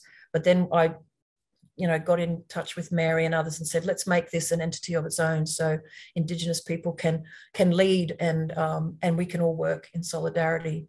So it was only through my personal experience of engaging with communities and just falling in love with the people and the place and that the learning, the unlearning, and then um, particularly Margaret, some of the older women, they started giving me these books. And I remember lying in fetal position in my bed after reading a lot of Henry Reynolds because he was literally showing the documents, the documented histories of Townsville and other places, blatant horrors of colonial activity in places like Townsville and where I grew up and other in the local newspaper of the day 1890s 1920s 1940s about people you know the way white people treated indigenous people. So i don't need to go into the horror stories. Many of us know um, that the history of colonization on this continent is vile um, in so many ways. But if you've not read anything and you don't know where to start, start with this book and then read everything you can by Indigenous authors. He's often the only um, non Indigenous author I recommend because It resonates with a brain that's wondering, why didn't I know this? How is it that I grew up not knowing this? And I'm really hoping and praying that everyone under my age group has had a different experience. So that's the beginning of my little personal journey. I then um, came across something I just wanted to share, almost like a random blip vert with you. Um, anyone who's interested in really deeply analyzing your own Western culture, critical whiteness studies, though it's from the US originally, has some very interesting theories and writing and, and um, thinkers. And I'm not sure if Yin, um, particularly in his role as a professor of race relations, could add a whole lot more. But I just wanted to read this quote from one of the many articles I've read um, to share with you a way of articulating some other aspects of decolonizing But I'm not an expert in this stuff. I've just been exploring it in practice. So, critical whiteness studies is a growing field of scholarship whose aim is to reveal the invisible structures that produce and reproduce white supremacy and privilege. It presumes a certain conception of racism that is connected to white supremacy. And in advancing the importance of vigilance among white people, critical whiteness studies examines the meaning of white privilege and white privilege pedagogy, as well as how white privilege is connected to complicity in racism, and how white people need to learn to acknowledge rather than deny how white people are complicit in racism. And I guess my only sharing as a non Indigenous person is I went from ignorance to horror to shame, deep embarrassment. And I mean, my entire 20s, I was just so profoundly embarrassed that I hadn't known. And then I just got really cranky and thought, well, what can I do? What can I do to either make amends for the ancestors? I, I don't really know. I've never done my gene pool. I bet they were involved in nasty things. Maybe some of them weren't. But what can I do right here, right now, to be something other than what my ancestors have delivered to me as my fate in a colonial country?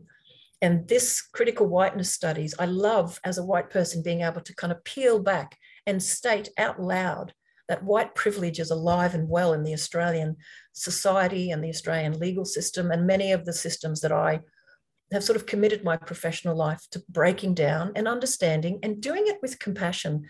I get feisty, but I do it with compassion because I know where I come from. I know the ignorance I came from. Rather than getting angry at someone, try to take a breath in my case and go, what do they know? Where are they up to in their learning journey? What can I share with them next that might help them unpeel the stuff that I've had to unpeel? So all I want to do with my remaining um, five to eight minutes or something is I actually just want to show you some of the thinking and analysis that's been helping us inside the Australian Earth Laws Alliance really rethink history and rethink the legal system. Um, because both Mary and Yin in their in their lovely, wonderful, wide-ranging talks, it's an invitation to really learn and to think and to feel. But for me, my big thing is, well, what can I do about it? I know that a lot of decolonizing is not to immediately take action and do an action plan and, and fall back into the old ways, uh, the very highly skilled administrative system that actually enabled colonialism. But what I do love is feeling that there's something I can do to make things a bit better in my lifetime. Just a tiny contribution. It's never born with hubris or grandiose, but just surely there's something more I can do. So I just want to share with you a couple of sort of almost cobbled together snippets of things to think about and things that we've been doing. So, from a legal or governance point of view, I tell the story like this when I give an Earth jurisprudence talk. In 1788, this continent had a remarkable ancient governance system. Um, if you put it in sort of modern parlay parlance, you'd call it a more than 60,000 years, time immemorial, a local, regional, earth centered, steady state economy governance system. But then it went through a major shift. And we had these invaders, these people, many of whom had good intentions, many of whom didn't care, many of whom were really nasty bastards. And they came to this place and they carved it up quite literally. If you look through the maps and the systems of the drawing up, um, it's, it's quite heartbreaking. The more you feel and care about the living world, the way they claimed it, they took it, they draw these lines, South Australia is a great example of it really being not just political empire, but it was opened up like a massive real estate deal by private corporations. The role of private corporations in empire is often forgotten as we look at monarchy and government.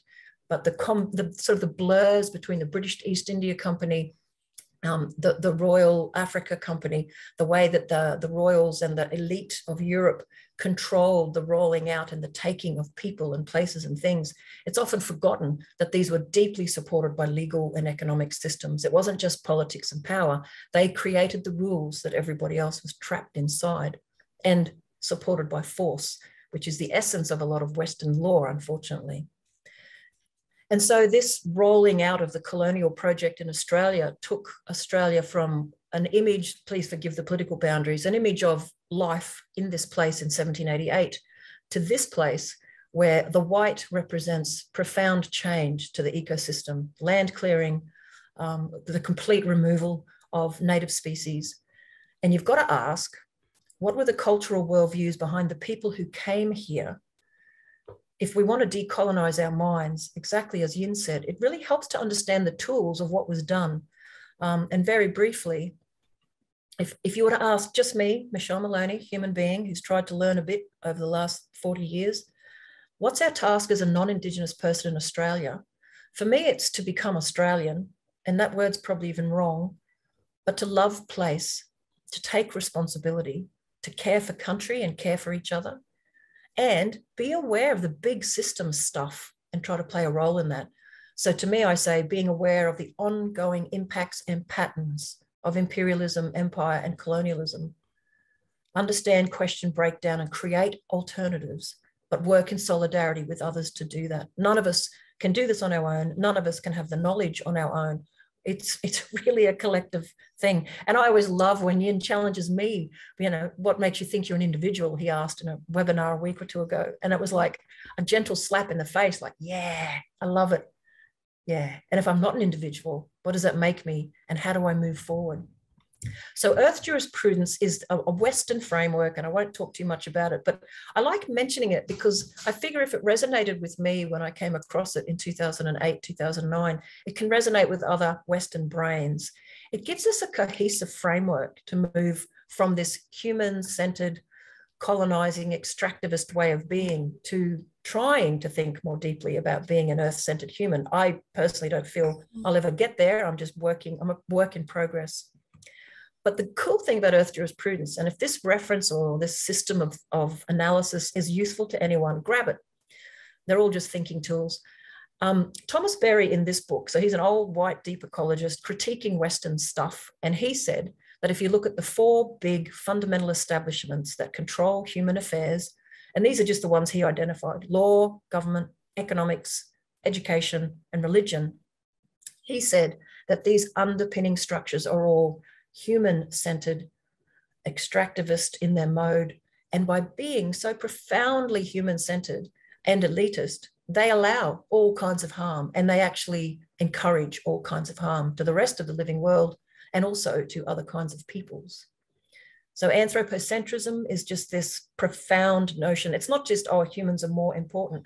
It, if you analyze anything from the British legal system or the globalized economic system, um, really a lot of literature and a lot of thinking in the Western mode for thousands of years, it's profoundly present. Some argue it's in the Christian Bible, others say there are other interpretations. But either way, I will still say to this day, the hardest thing that I ever come across in my work is engaging with people in conversations about ecocentrism and decolonization if they come from a Western tradition. It is so hard for us to unlearn what we've learned. We think certain things are vividly, tangibly real, and they're not. So it's a wonderful invitation to really challenge yourself to really get into this stuff and rethink who we are, our place in the world. So, Earth mm. Laws connects my personal learning journey with a professional way of being somehow useful because it helps me critique systems in our society, but not to be a meanie and not to just be awful to folks, but to actually go, what can we do about it? I understand my history. I've moved through the shame. I accept the reality of what my people have done And now I want to take action and responsibility. What could that look like? It could change from month to month and year to year, but hopefully keeping on the same direction. So we're seeing earth laws, and this is just a sort of a final slide to go. The good news is, and I can bore you to death if anyone wants to join a, a summary of the history of environmentalism and environmental law in the West. Um, the remarkable thing in the last 10 years has been a rise of critiquing the very good stuff we thought was trying to do the job, environmental law. And we're seeing in Australia through the work of Mary Graham, through the work of Anne Poelina, Irene Watson, so many other Indigenous lawyers, people who managed to grapple with the, the bizarre concepts in the West um, whilst holding their deep knowledge of their own law. Um, we're seeing this rise of a different way of thinking, and I can't wait to see what happens next. Um, so I won't go on any longer, um, but if anyone's interested, get in touch. We've got slides. I might even do a pre-record of um, really for current day people wanting to understand why we're still destroying so much in Australia, the legal system and economic system and power structures that came here in 1788 were modified during our constitutional um, gathering in 19 and creation in 1901, but they've barely changed. All the systems are still in place. It's, mm. it's quite profoundly disturbing. So I'm not going to go into any of that. I did want to just say that the other thing to remember is that law was used to control and is still used to, to control Aboriginal people. And we all have to play a role in decolonizing that. When Mary talks about being under the Act, I know a lot of non-Indigenous people know nothing about these laws. So I've put it in red. Can you please, please Google the 1897 mm-hmm. Aboriginals Protection and Restriction of the Sale of Opium Act, Queensland. You have to know our history. Indigenous people haven't been pushed aside and, and, taken off land accidentally. It has been a very systemic, institutional, um, political decision by people in power to make laws, to move people, to destroy their world, to steal their land. And you have to understand the history. Where to from here? For me, my personal journey will always flow in and out of whatever this idea of work is. I think I'm very lucky because in my early 20s, I discovered I'm obstinate, I'm obnoxious, I can't work in places I don't like, I don't want to do things I'm not interested in. I am truly a free human being in respect of doing what's important. Not everyone's like that. Sometimes we get stuck in jobs because we bloody need the money. My only advice is take your personal passions, fill up your life with them. If you have to have a small distinction for a small amount of time between how you make your money, but how you make your living, as a white fellow, I urge you to do it. You will make yourself the happiest human being in the world. You are not trapped in the job that you hate you can find meaning in the day to day life that we lead, even in this bizarre Western structure. Um, and if you have the energy, if you have the time, if you have an interest, connecting into system change work, um, like many of us are trying to do, um, is something I would urge because we need to break down the, um, the values and the systems. We need groups like Future Dreaming and AELA. We need to do what's good for the blue banded bees. so that's my talk. And it's thank you very much for listening. And now we've got a good 25 minutes for Q&A. Um, I will be making sure that um, any chats, if we've got any, um, oh, good, that's we've got someone sort of celebrating um, blue banded bees, which is really, really good. I see a lot of wonderful comments. Um, there haven't been as many questions, but what I might do is if you've got questions now, can you please pop them in the chat? I'll start to collect them. But what I would like to do is perhaps ask Yin and Mary um, if they've got any questions for each other, because I often find that's the fun stuff. Mary and Yin, over to you until I interrupt you with a question. Yeah, sure. Yes. Well, could, could I also say, um, Yin, I meant to say earlier, because um, I, th- you know, I thought that's brilliant all those things and how you said it so poetically. Geez, what did you call it? Um, what do you call it um, poetically when you say, or somebody said all the adverbs, is it? Yeah, something about all the adverbs. Yeah, Verbs. Yes, yeah. wonderful. That's terrific. I, I love it. Um, but uh, doing all those things, it strikes me, struck me that if people just simply, you know, went along those lines, they would eventually find that um, um, a conscience, a collective conscience in the country was being built, because I think that's what one of the basic things at the heart of the an Aboriginal this ancient system is that they knew that that's what's got to be kind of um, um, built, managed, and maintained is is uh, because when you have fascism, that means fascist fascistic things, ways of being and doing. Um, that's against having a conscience. In fact, you've just killed the conscience of, of a people of their own conscience, like a serial killer. Do you know what I mean? Yeah. So it's a liquid war going on at the moment around the world, and it's increased over the years. You know, over the years, and everybody. I'm not quite sure if everybody knows this, but um, um, empathy is a chemical in the brain. Do you know? Apparently, I didn't know this myself until a couple of years ago. Empathy is a, a, chemical in the brain. Now, now Murris, you know, Aboriginal people mightn't have known the science of it, but they did know you have to actually keep working on it.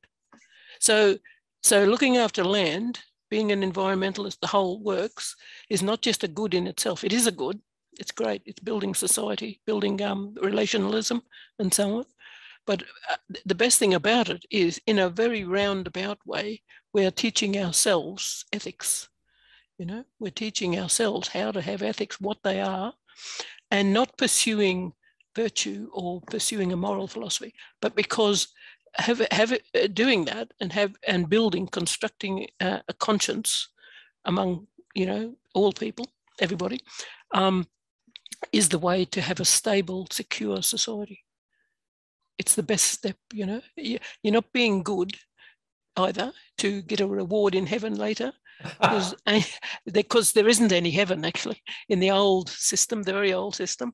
You know, there's no God. There's no there, there might be spirit figures who are more important than others who are God-like, but there's no God-head character. So what it means is there's no heaven or hell. It doesn't exist. So we we only have each other and land, you know. That's all we have. So we better start looking after each other. And I, I, think a lot of Aboriginal people have always, and trying to still do this, is to pass on a lot of these ideas to um, people, uh, to, to Australians from the very beginning. Um, um, Yin, do you know, you heard of um, uh, old, um, an old activist from New South Wales, actually, um, Mum Shirl she died a long time ago. Mum Shirl, her name was. I don't even know what her second name was.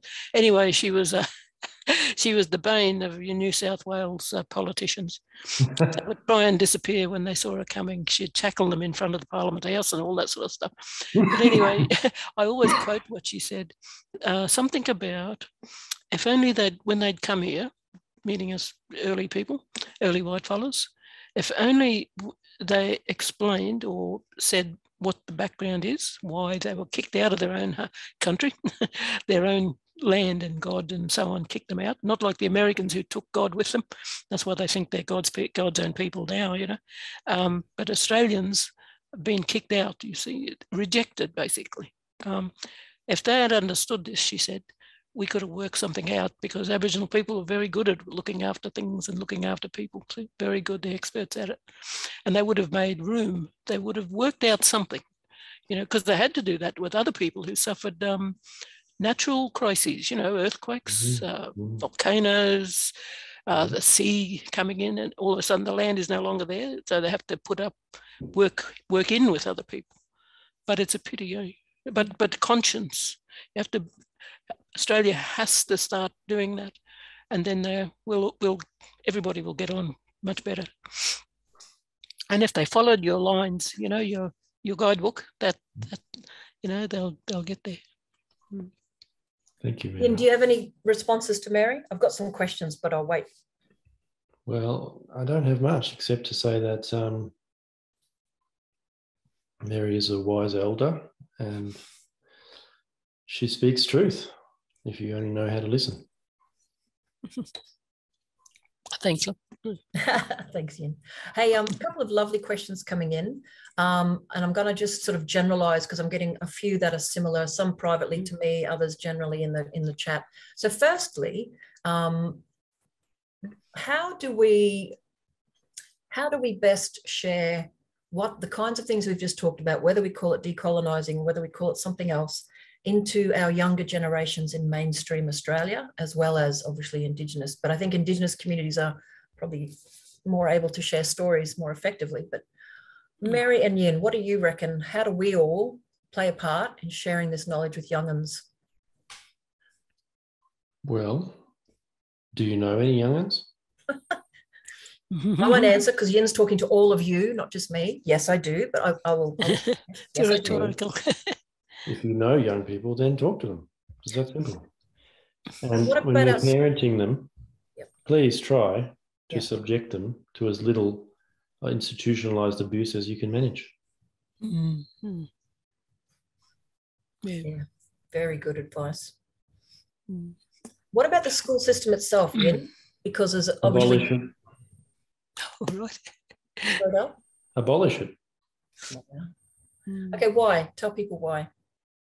because it's an institution of control and coercion and conformity that crushes the spirit, the free, creative, imaginative spirit of children. That's why. Mm. I'll, I'd probably have to say something in relation to that, love. Um, it, it could be where we part ways, but um, mainly because uh, I'm working with the Murri School in Brisbane. I don't know if you heard it, Aboriginal um, community school up there. I'm on the board there, but um, but also I've always believed um, that schools, if you have to have schools, um, in Australia, they they should have um, philosophy being taught in schools. I work with the philosophy department, um, School of Philosophy up in um, uh, University of Queensland, and so I work with people who also believe that kind of thing. But philosophy in schools is a huge thing, huge thing. Some some schools do have it actually. In Brisbane, the Buranda State School, they teach it, you know. But my idea of teaching philosophy, of course, is one thing is uh, the rites of passage, our, our own idea about the rites of passage, that it isn't really a philosophy, it's a way of life, you know, it's a lived life of um, understanding um, uh, and caring for land and so on. So, so that's part of it. It's actually being um, entered into or joining the curriculum of the Murri School at, as we speak. You know, they're rolling it out. But philosophy in general, um, and suitable for all different age groups. So uh, really good curriculum writers can do that because they they the Murri kids, this is a Murri school, um, should understand exactly why why white fellas are as they are, why European systems are as they are. They learn it in a formal way, not necessarily to like um, admire it and follow it and all that kind of stuff, but understand where the contradictions are you know, all, all of that sort of thing. And later on, also learn about um, uh, Asian philosophy, Asian also, and the one I have myself in mind because there's so many of them, you know, great old religions and philosophies.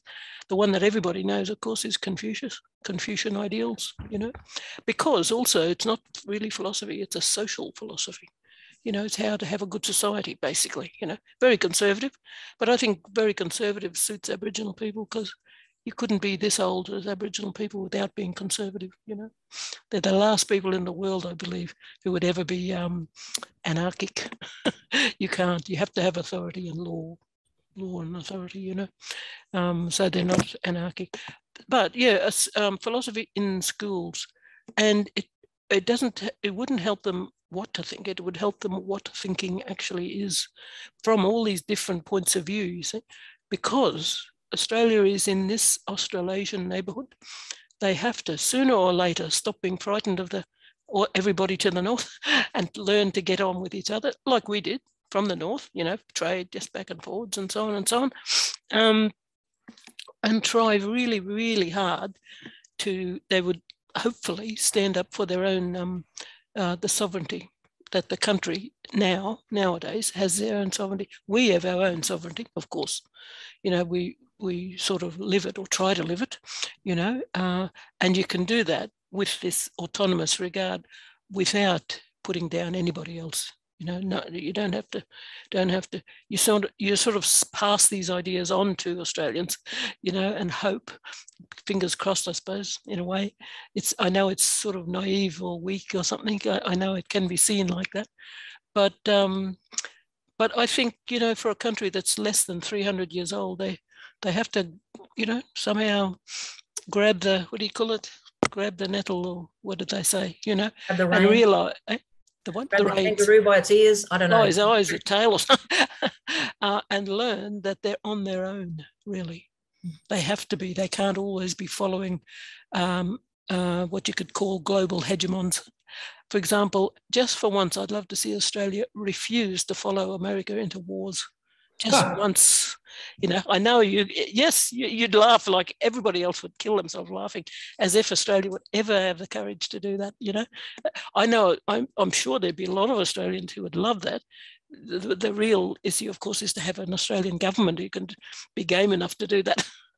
And, and, and course, I at- would, at, the and I would- moment, we wouldn't. You know, they wouldn't. and I would question, Mary, do we have any governments that feel they are in fact Australian? Because you do Well, yes, if they yes. think about this continent in its reality at all. in its reality. They don't even understand how to live in this place, and they don't really understand how lucky they are to live in this place with us in this place and near to that to the north, that great huge collection of um, so, um, philosophies and ways of thinking and so on. They don't realize how lucky they are.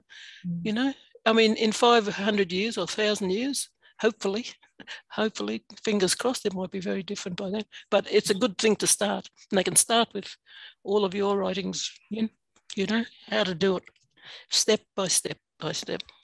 Uh, lovely, some really nice different opinions there about the role of education. And we could talk about Mm. that topic alone for a very long Mm. time.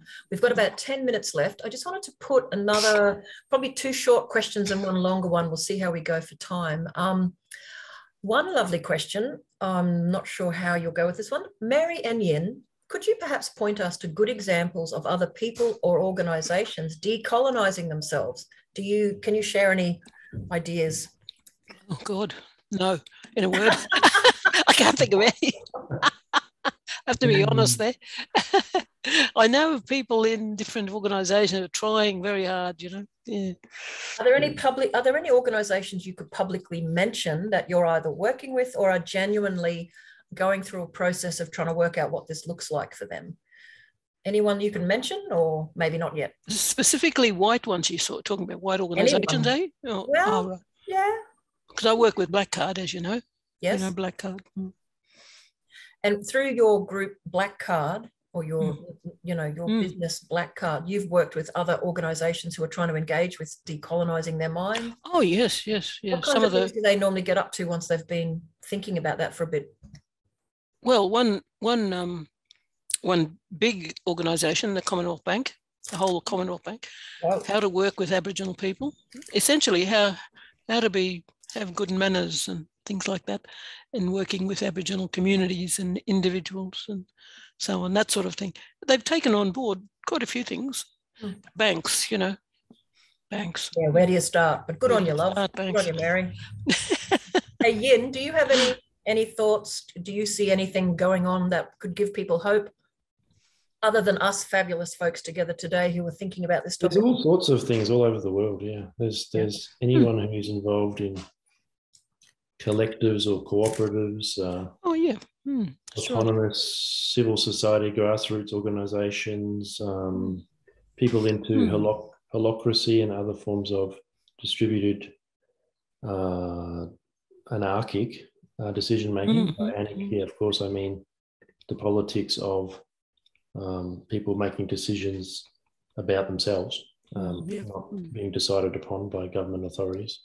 So voluntary cooperation, Hmm, mutual aid, direct action. There's, uh, you know, there's um, there's participatory democracy of various sorts all, all over the world, you know, and there's this is just organisations that it's first it's a power based approach um, to power sharing, real Mm. egalitarianism, and then some, yeah, I guess there's some bringing in of the um, the different values that underpin um, cooperation and care and uh, compassion and empathy and those sorts of things. That that's um, Mm. that's part of it, but it's more difficult to sort of um, to do. Uh, that all, it's all very hard to do with in modernity because Mm. these sort of organisations are yeah marginal and marginalised, but Mm. there's many thousands of them around the world. Yeah. I think many of us are all part of them. So maybe we need to Mhm. embrace that we are part of this system um, as Mm. we're as we're kind of trying to look around for others. Maybe go, oh, maybe I'm a little bit part of that. How do I connect with others? Hey, um, got an interesting question here. Um, I sound like I'm on the radio. Got an interesting question. Um, let's talk about this. We've got, you know, we've got the princely sum of five minutes left. Um, lovely question. I'll read it all out. For many migrants, uh, if not all, the first thing they're told when um, is that they need to embrace the systems of Australian society. Because we're newly arrived as migrants, we often feel insecure. In a way, we're conditioned to not question the systems because we have to survive being here. Um, you've got to get a job, get your kids to school, sort out the language, obtain a mortgage, etc. How can we also engage, um, or how can we engage migrants and to be part of this decolonizing process? And can I just, before you answer it, say, in a lot of ways, anyone who's not Aboriginal Indigenous is a migrant because my people were carted here. And we, many of us feel insecure, even if we're older in terms of what, what year we came to this continent. So many people feel that, I guess. But yeah, Mary, Yin, Yin would you like to go first on this? Because I know Mm. you've already got some strong views Mm, on how migrants can be in part of the decolonizing, because you probably, Well, yeah, I mean, anyone can be part of decolonising. It's it's as a part of the chat.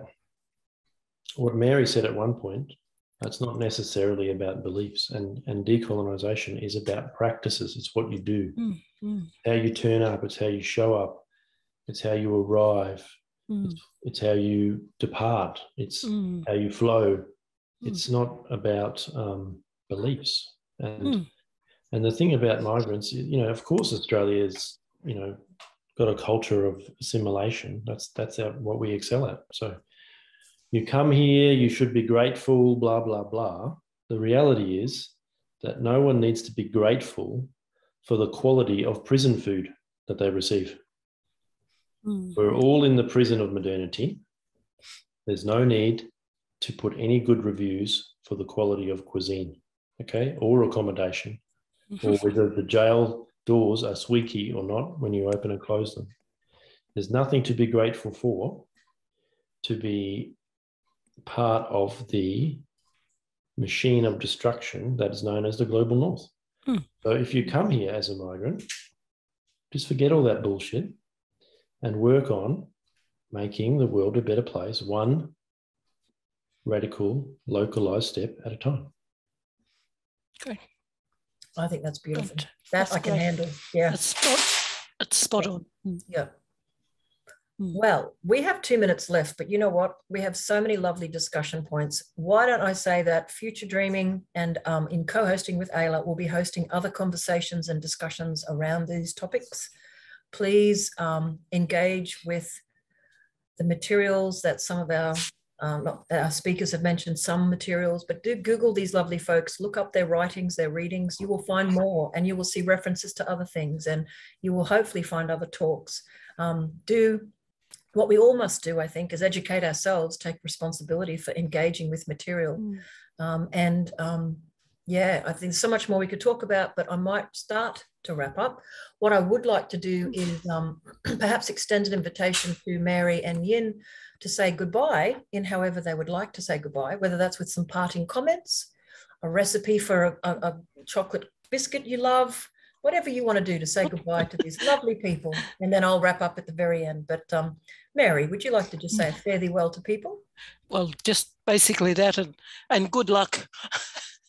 good luck with trying to, you know, change the minds of people you know who who you think ought to change their minds or whatever. Because some very interesting stories come back about people having arguments with their family members and friends and so on and so on. So good luck with everything. Yeah, thank you. And Yin. I will say to people go forth and be eccentric and never apologize. Yeah, I would uh, totally agree with that. Never apologise. No, don't. I love it. Mm. Go forth and be eccentric and never Mm. apologize. Well, Mm. from me, what I would like to say is thank you, everyone, for being part of this conversation. We had something like 350 people register for this event, which is really lovely. And so many people now will watch the recordings rather than join live. I think there's a real hunger for this conversation. So let's keep the Mm. conversation going. And if anyone on this call, on this call, on this meeting wants to know more or get in touch, please email info at futuredreaming.org.au. Um, we are small and humble, but we will find ways to get back to you. Also, jump on our mailing lists. You will find them on various websites.